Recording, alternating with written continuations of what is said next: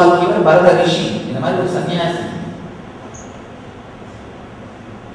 எல்லாமே இந்த ஆன்மீகத்தை மையமா வச்சுதான் நம்ம நாட்டில் உருவாகி வளர்ந்துருக்கு ஓவியம் கட்டடக்கலை எல்லாமே எங்க வளர்ந்தது கோவில்களில் தான் வளர்க்கப்பட்டது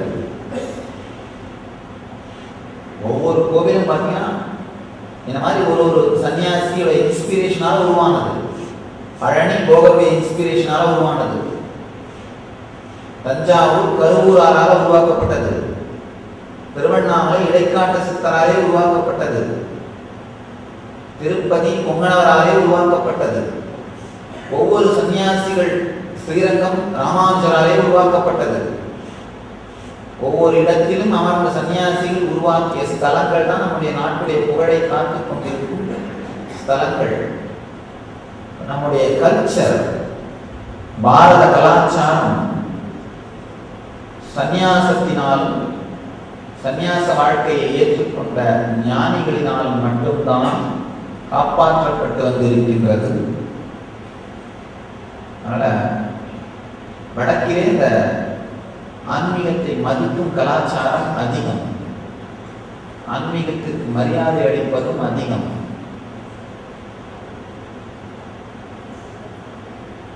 அந்த சுவாமிக்கு சேவை செய்து கொண்டிருந்தேன். கடைசி காலத்தில் ஒரு வயதான சன்னியாசி அவர் எனக்கு முன்னவில்லை தெரியாது ஆனால் அவருக்கு வயசானவராச்சு அப்படிங்கிறதுக்காக சேவை பண்ணிட்டு இருந்தோம்.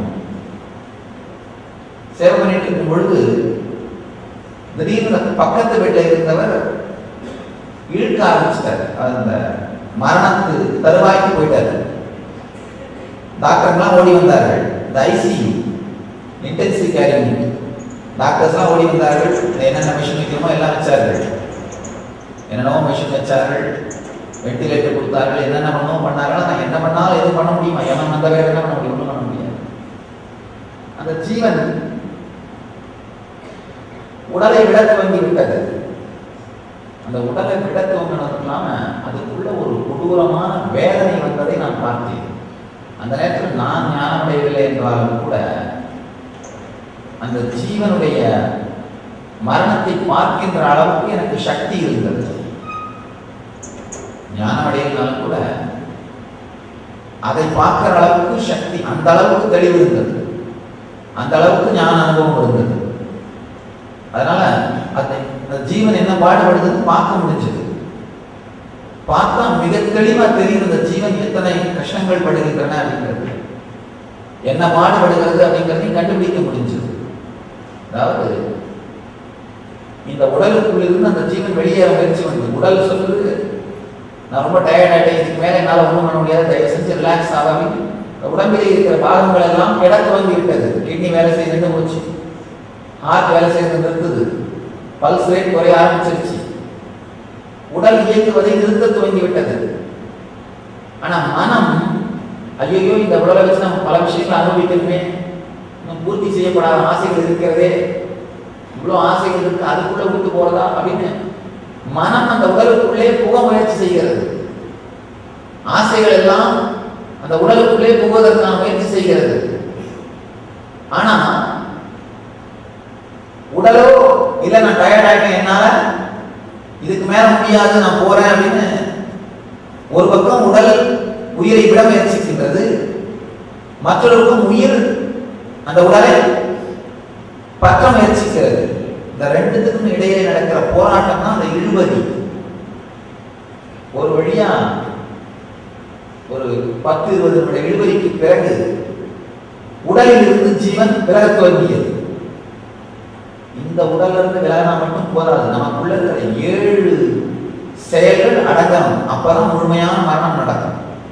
இந்த ஸ்தூல உடல் அது இந்த ரத்த ஓட்டம் ஹார்ட் பீட் இதெல்லாம் ஒரு நிகழ்ச்சி. இது அடங்கிறது முதல் மரணம். ரெண்டாவது சுவாச ஓட்டம் நிற்கணும் பிராண சரீரம்னு அதுதான் சொல்றது. நமக்குள்ளே ஏழு சரீரங்கள் இருக்கின்றன. ஏழு சரீரம்னா ஏழு விதமான நிகழ்ச்சிகள் தொடர்ந்து நடந்துட்டே இருக்கு.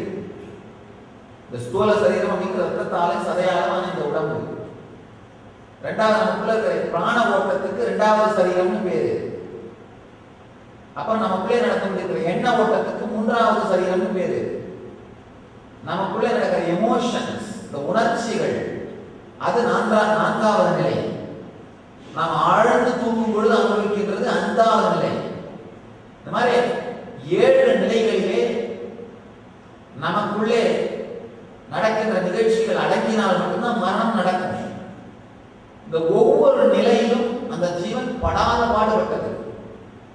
ஒவ்வொரு நிலையிலும் அந்த ஜீவன் கொடூரமான சொல்ல முடியாத வேதனை நினைத்தும் பார்க்க முடியாத வேதனை கொடூரமான அது ஒரு மோல்டு இரும்புல உள்ள மாதிரியே ஒரு மோல்டு பண்ணி அதுக்குள்ள உங்களை நிறுத்தி திடீர்னு அந்த மோல்டு அப்படியே குறுகி இருக்க ஆரம்பிச்சுன்னா என்ன ஆகும்? எப்படி உங்கள் உடல் நசுக்கப்படுமோ அதே போல அந்த ஜீவன் நசுக்கப்பட தோன்றியது அந்த ஜீவன் தான். தனக்குள்ள நடக்கிற அந்த போராட்டத்தால அப்படியே நசுங்க ஆரம்பிச்சது. ஆயிரம் தேள் ஒரு நேரத்துல கொட்டினா எப்படி இருக்கும்? அப்படி அந்த உணர்வு அந்த ஜீவனால அனுபவிக்கப்பட்டதை பார்த்தேன். இதை பார்த்த உடனே எனக்கு என்ன ஆச்சு? அப்பா இங்க நின்று பார்த்து ஒரு ஆக்சிடென்ட் நீங்க பார்த்தீங்கன்னா என்ன ஆகும்? வாந்தி வரும் வரைக்கும் குமட்டிட்டு வரும் இல்லையா?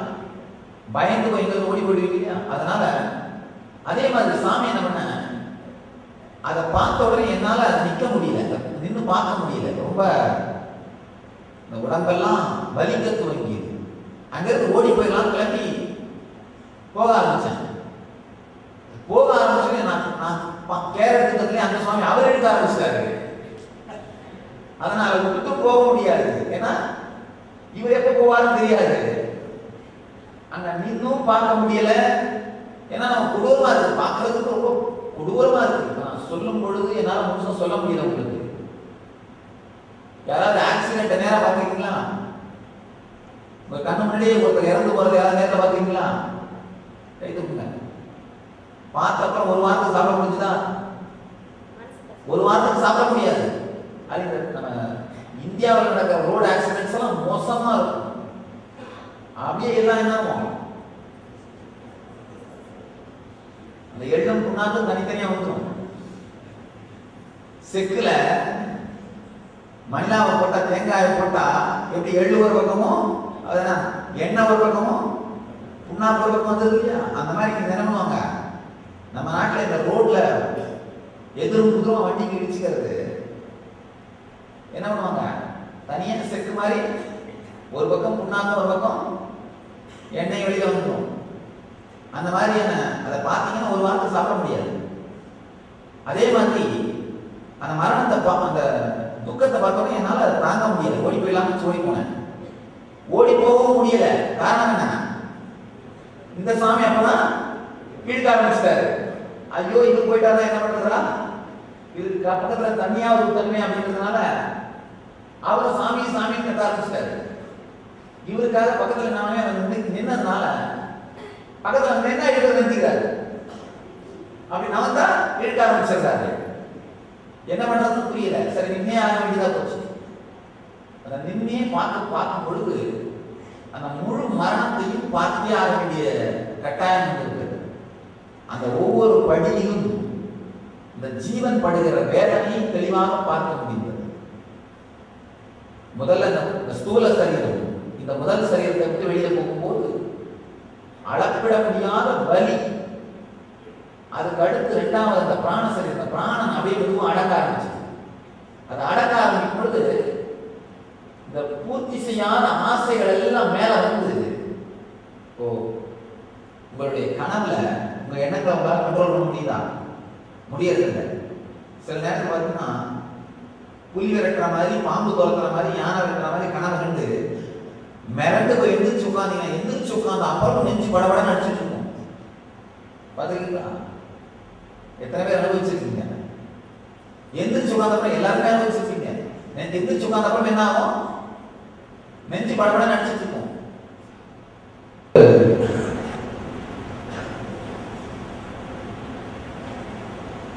Auto driver. மெட்ராஸ் ஆட்டோ டிரைவரும் மெட்ராஸ் ஆட்டோ ஓட்டும் ஒரு டிரைவர். அப்புறம் இந்த உலகம் முழுக்க ப்ரீச் பண்ணுற ஒரு பா ஃபாதர் பாதிரியார். ரெண்டு பேரும் ஒரே நாள் செத்து போயிட்டாங்க. நம்ம மேல யமதர்மம் கிட்ட போறாங்க ரெண்டு பேரும். போன உடனே யமதர்மன் இந்த கோர்ட்ல விசாரணை பண்றாரு? முதல்ல டிரைவர் வரும் அப்பா உன் பேர் என்ன? என் பேர் பெரிய கருப்பன் என்ன பண்ணிட்டு இருந்த மெட்ராஸ் ஆட்டோ ஓட்டிட்டு இருந்தேன் உடனே என்ன அந்த பாவம் லிஸ்ட் எல்லாம் எடுத்து பார்த்தார். பாவம் லிஸ்ட் எடுத்து பார்த்தார். பார்த்துட்டு சரிம்மா நீ நேரா சொல்றதுக்கு போ. உனக்கு சொர்க்கம் தான் நிறைய புண்ணியம் பண்ணியிருக்கேன். மெட்ராஸில் ஆட்டோ ஓட்டுறவங்களுக்கு சொல்றது அமைச்சா கஷ்டம் தான் ஆட்டோ ஏறி பார்த்தீங்கன்னா நேரம் நேரம் தெரிஞ்சு இந்த கர்ப்பிணி பெண்களாம் ஏறி பார்த்தீங்கன்னா அவ்வளோதான் ஆட்டோவே பிரசவம் பார்த்த வேண்டியது வேறு வழியே இல்லை. அவங்க குழுக்கிறவங்களுக்கு என்ன பண்ணுறது ஒன்றும் பண்ண முடியாது. கர்ப்பிணி பெண்கள் நான் சாதாரண ஆளுங்க ஏறி பார்த்தாலே ரெட்டாக போயிருக்காங்க என்னைக்கு மேல எமன் என்ன பண்றாரு அப்பா நமக்கு சொர்க்கம் போ அப்படின்னு அனுப்பிச்சிடுறாரு ரெண்டாவது இந்த பிரீச்சர் வந்தார் பிரசங்கி வந்தாரு வந்த உடனே இவர் கேட்கிறார் உன் பேர் என்ன எமன் கேட்கிறார் அவர் பிரசங்கி சொல்றாரு என்னுடைய பேர் ஜோசப் மரியதாஸ் ஏதோ இவர் பாவம் நீ ரிசல்ட் எடுத்து பார்த்துட்டு உனக்கு நரகம் தான் இவர் உடனே கத்துறாரு என்னையா ஒரு சாதாரண ஆட்டோ ஓட்டுறவனுக்கு போய் சொர்க்கம் கொடுத்துருக்குறாரு நான் கடவுள் பேரை உலகமெல்லாம் பரப்பியிருக்கேன் எனக்கு என்ன போய் நரகத்துக்கு அனுப்புதி உனக்கு என்ன தைரியம்? அப்படின்னு சத்தம் போடுறாரு. எவன் சொல்றான் அப்பா நீ என்ன பண்றாலும் நாங்கள் பார்க்க மாட்டோம். அதோட எஃபெக்ட் என்னன்னு தான் பார்ப்போம். அந்த ஆள் ஆட்டோ தான் ஓட்டினாரு. ஆனால் அவர் ஓட்டுற விதத்தில் உள்ள உட்கார்ந்துருக்காரு வெளியில இருக்காரு. ரெண்டு பேரையுமே கடவுளை பிரார்த்தனை பண்ண வச்சாரு.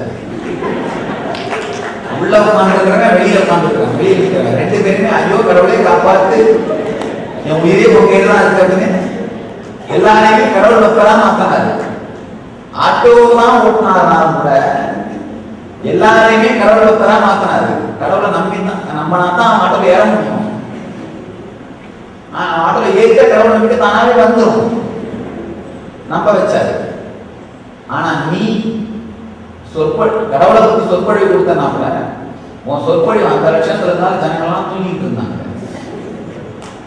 அவன் ஆட்டோ ஓட்டினாலும் ஜனங்களை கடவுளை நம்ப ஆத்திகராம நடத்தினான் நீ கடவுளை பத்தியே பேசினாலும் ஜனங்களை தூங்க தான் வச்ச என்ன பண்ற அப்படின்னு நாங்க பார்க்கறது இல்ல எப்பக்கு என்னன்னு தான் பார்ப்போம் அப்படின்னா அவர் நரகத்தை அமைச்சிடுறாரு இப்போ நீங்க தூங்கினீங்கன்னா நான் மேல போகும்போது என்ன பண்ணுவாரு எனக்கு நரகத்தை வாய்க்கணும் உங்களுக்காக இருந்தாலும் தயவு செஞ்சு எனக்காகவாவது தூங்காமல் இருங்கள்.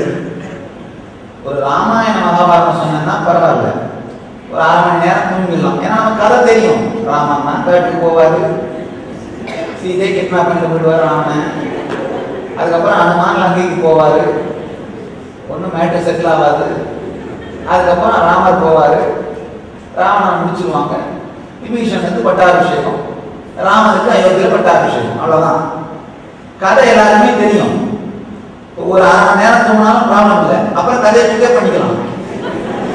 இந்த டிவி சீரியல் மாதிரி ஒரு நாள் டிவி சீரியல் பார்க்கறேன்னா மறுநாள் நான் பக்கத்து ஃபோன் பண்ணி ஏமா எனக்கு வேலையாக இருந்துச்சு பார்க்கற கதை எங்கே இருக்குதுன்னு சொல்ல. கேட்டுடலாம் அண்ணி எங்கே போயிருக்கு?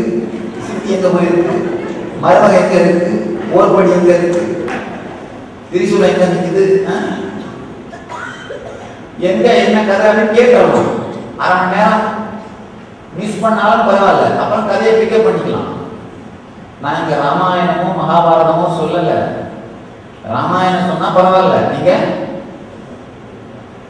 அரை மணி நேரம் தூங்கலாம் அப்புறம் ஒரு அரை மணி நேரம் கேட்கலாம் திரும்ப ஒரு அரை மணி நேரம் தூங்கலாம் திரும்ப அரை மணி நேரம் கேட்கலாம். அதனால இந்த ராமாயணம் சொல்ற இடத்துக்கு எங்க போனாலும் ஒரு இருபத்தஞ்சு பேர் உட்காந்து தூங்கிட்டு இருப்பாங்க வயசான கிழவர்கள் வேலை இல்லாதவர்கள் இந்த வீட்டில் மாமியார் மருமக தொல்லை இருந்ததுன்னா ஓரது கண்டெல்லாம் அங்கே போய் உட்காந்துருவாங்க. என்ன பண்றது? அங்கே போய் கால் நீட்டி உட்காந்துட்டு அவர் வாட்டைக்கு சொல்லிட்டு இருப்பாரு. இந்த அம்மா கொஞ்சம் நேரம் கழிச்சு என்ன பண்ணுவோம் மெதுவா அந்த வெத்தலை இடிக்க ஆரம்பிச்சோம் வெத்தலை இடிச்சு வாயில கொஞ்ச நேரம் அப்படியே மென்னுட்டு அப்புறம் ஒரு சின்ன மணல் பொடி கட்டி வச்சிருக்கும். பார்த்துட்டு அந்த கிராமத்தில் ராமாயண வியாபாரம் சொல்லுறது அப்படியே துப்பி மனதையே ஒரு குருடி கட்டி அங்கே போய் உட்காந்தீங்கன்னா துணியெல்லாம் சிறப்பாகும். துணியெல்லாம் சிறப்பாக போகும். ராமாயண மகாபாரதம் சொன்னால் பரவாயில்ல.